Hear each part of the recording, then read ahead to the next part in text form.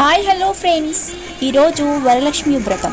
పౌర్ణమికి ముందు వచ్చే శుక్రవారం నాడు వరలక్ష్మి వ్రతాన్ని ఆచరించడం ఆనవాయితీగా వస్తుంది.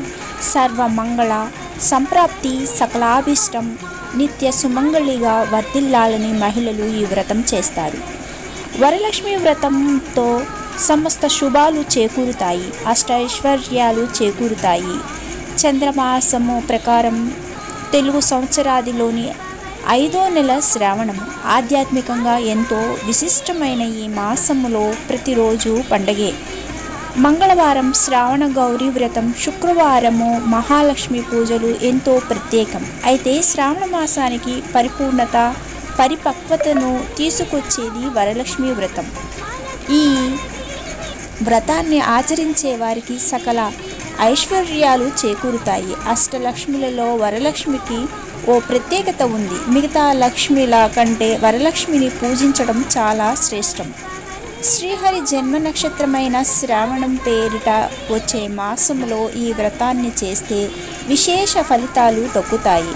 వరలక్ష్మి వ్రతం రోజున అంటే పౌర్ణమికి ముందు వచ్చే శుక్రవారం తెల్లవారుజామునే నిద్రలేచి అభ్యంగన స్నానాన్ని ఆచరించాలి. ఇంటి ఈశాన్య భాగములో ఆవు పేడతో ఆవు పేడతో అల్లికి ముగ్గులు పెట్టి మండపాన్ని ఏర్పాటు చేసుకోవాలి. మండపంలో కొత్త బియ్యం పోసి అందంగా తీర్చిదిద్ది కలశాన్ని ఉంచి మర్రి మామిడి మేడి జువ్వి రావి చిగుళ్ళను అందులో వేయాలి.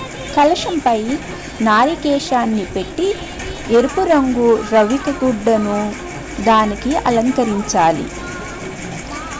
ఆ కలశం ముందు భాగంలో లక్ష్మీదేవి విగ్రహాన్ని ఉంచి వరలక్ష్మిని ఆవాహనం చెయ్యాలి.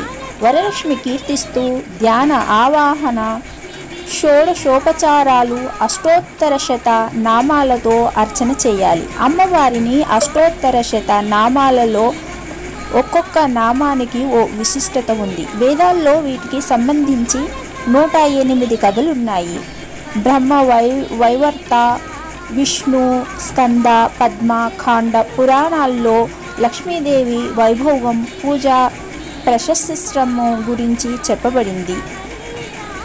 నవకాయ పిండి వంటలు ఫలాలను నైవేద్యముగా సమర్పించి తొమ్మిది దారాలతో తయారు చేసిన తోరాన్ని అర్చించి దాన్ని కుడి చేతికి కట్టుకోవాలి. భక్తితో ప్రదక్షిణపూర్వక నమస్కారాలు పూర్తి చేసి ఇంటికి వచ్చిన ముత్తైదులకు వాయినాలు ఇచ్చి ఆశీర్వాదం తీసుకోవాలి.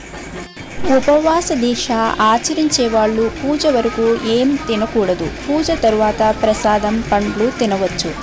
మరుసటి రోజు వరకు ఏం తినకూడదు. వీడియో ఈ వీడియో మీకు నచ్చినట్లయితే లైక్ చేయండి షేర్ చేయండి సబ్స్క్రైబ్ చేసుకోండి.